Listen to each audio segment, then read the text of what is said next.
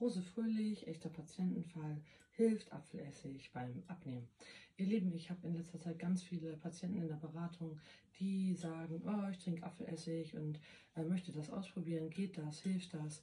Ähm, hilft das zur Gewichtsabnahme? Ihr Lieben, schreibt mir mal in die Kommentare von all denen, die das gemacht haben, wie lange ihr das durchgehalten habt. Funktioniert das überhaupt? Ja, welche Erfahrungen habt ihr mit Apfelessig und Abnehmen gemacht? Also ihr Lieben, ich bin die Rose Fröhlich, Diätassistentin mit Kassenzulassung in eigener Praxis. Und es ist so, dass die Apfelessig ähm, jetzt gerade gestern bei drei, vier Patienten hochkam. Ich gehe davon aus, dass das Thema Apfelessig wieder mal irgendwie durch die Lande tourt.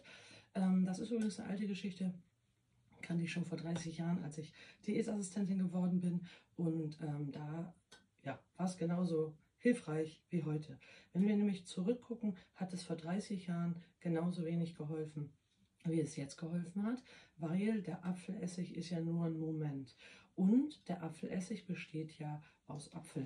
Das heißt, wenn ich einen Apfel in, daraus Essig herstelle, dann enthält der Apfel ja Zucker. Und zwar Fruchtzucker.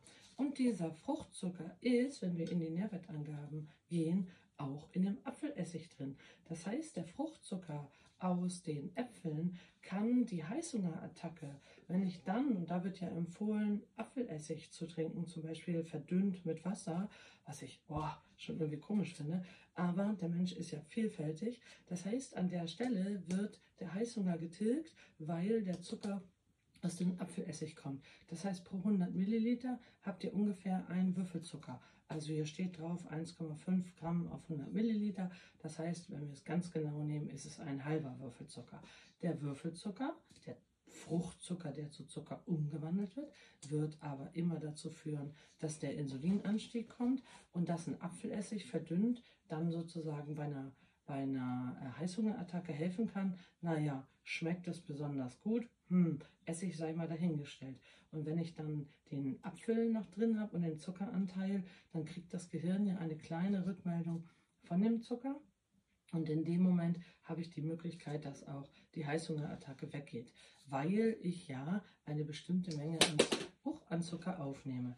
Dann wird in dieser Diät empfohlen, auch noch sowas wie Joghurt oder Molke oder Buttermilch dazu zu nehmen. Auch die ganzen Milchprodukte, also Molke, Buttermilch, äh, Kefir, Joghurt, enthält alles Zucker. Leute. Das heißt, gerade die Molke ist zwar fettreduziert, auch der Butter ist häufig die Buttermilch ist häufig fettreduziert, nicht die Butter, die Buttermilch, aber die enthalten alle Milchzucker, weil es nämlich aus der Herstellung in der Molke, im Kefir und bei dem Joghurt haben wir ja die Kuhmilch, ähm, haben wir sozusagen den Milchzucker drin. Wenn ich jetzt Sojaprodukte nehme, habe ich auch den Zuckeranteil drin. Das heißt, an der Stelle hilft das alles nicht, weil ne, wenn ich den Apfelessig mit ähm, einem Milchprodukt kombiniere, dann habe ich sozusagen auch den Blutzuckeranstieg. Und dann haben wir den Effekt, den wir oder der überhaupt irgendwie immer mit Apfelessig verbunden werden würde können, haben wir dann nicht, weil auch da wieder der Zucker ansteigt. Dass das dann hilft, weil ich eine Eiweißquelle zu mir nehme oder die Heißhungerattacke weggeht, weil der Milchzucker Blutzuckeranstieg macht. Logisch. Was soll der Essig denn machen? Leute, schmeckt das? Mögt ihr das? So, schreibt es mir mal in die Kommentare, wie ihr sozusagen das mit Apfelessig seht. So, mein Tipp. Also Leute, immer, wenn ihr irgendwas lest, was so super toll helfen soll beim Abnehmen, denkt einmal mal nach, ob es wirklich so ist. Weil wenn ich Apfelessig schon 30, 40, 50 Jahre habe und die Leute es schon vor 30 Jahren ausprobiert haben, warum ist das Gewicht bei den Menschen gestiegen, wenn es angeblich so einfach sein soll. Oder wenn ich Kaffee trinke und alles wird besser, das Gewicht geht runter, das Gewicht steigt nicht. Oder irgendwelche Nahrungsergänzungen, die helfen soll. Oder irgendwelche Tropfen, gibt es ja diverse Angebote auf dem Markt. Leute, Leute, Leute, das Einzige, worum es geht, hier geht es um Kohle. Also überlegt euch ganz genau, ob das der Sinn ist, ob ihr das ausgeben möchtet ob ihr an der Stelle, egal ob es Apfelessig, der gehört in den Salat, den kann man für einen Salat nutzen, den kann man sicherlich auch für die Zubereitung anderer Speisen nutzen.